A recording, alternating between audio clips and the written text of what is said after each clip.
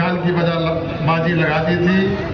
इसमें छत्तीसगढ़ का नाम अग्रिम पंक्ति में दर्ज कराने वाले अमर शहीद गेंद सिंह, वीर सिंह वीर सिंह, नारायण सिंह जैसे महान सपूतों का पावन स्मरण करते हुए मैं सभी अमर शहीदों को नमन करता हूँ।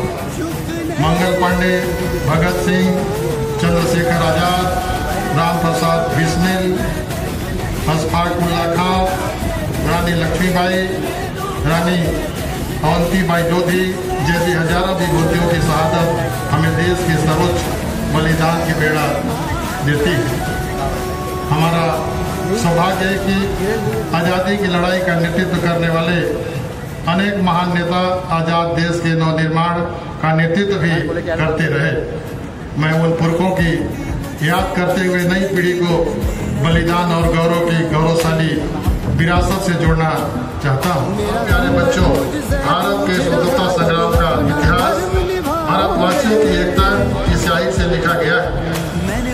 देश में जाति, धर्म, संप्रदाय, संस्कृति आदि विविधताओं के बावजूद भारतवासियों में साथ रहने और साथ मिलकर चुनौतियों का सामना करने की अद्भुत